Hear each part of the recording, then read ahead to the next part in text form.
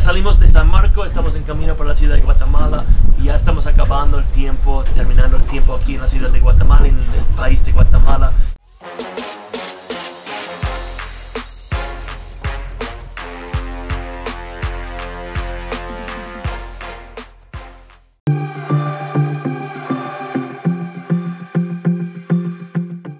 Bro, mira, anoche no tuvimos planes para quedarnos en Antigua y ahora estamos en el lago Alticán, Altitlán. Así que Diego, nuestro amigo aquí, me regaló, me regaló ropa, pero como ustedes pueden ver, soy un poquito más grande de él. Pero no me importa, vamos, porque hace un calor aquí.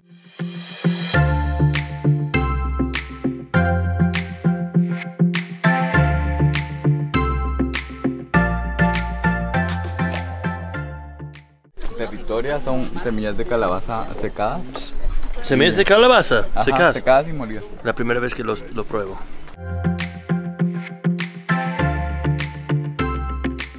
Para que ustedes puedan ver más nueva hat. No, ¿Qué palabras tiene? Bueno, pues feliz. Vamos para el lago, los paisajes están hermosos, la cultura, la ropa, todo lo que pueden ver acá es increíble. Estamos en Guatemala, felices. ¿Qué piensas de tu, tu gorro nuevo? Bueno, mi gorra fue escogida por ti, bro, la verdad. Diego. Está súper. Es como que lo hubiéramos recién traído de Cartagena de Indias.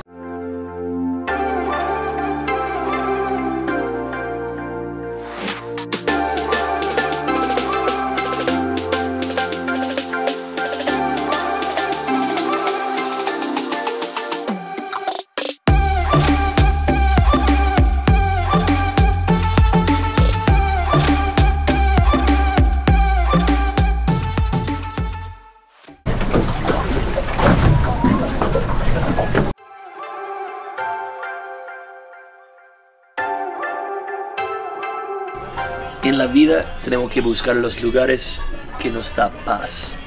Y este lugar, el Secret Garden, el jardín secreto, definitivamente es uno de esos lugares que me da paz. Es hermoso. Estamos felices por estar aquí en San Marco.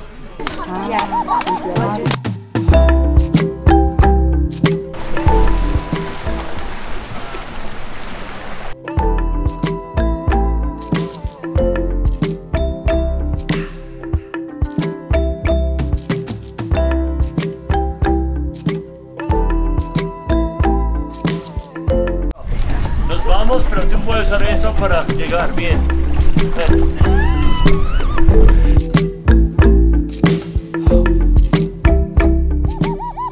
Ya estamos acabando el tiempo, terminando el tiempo aquí en la ciudad de Guatemala, en el país de Guatemala.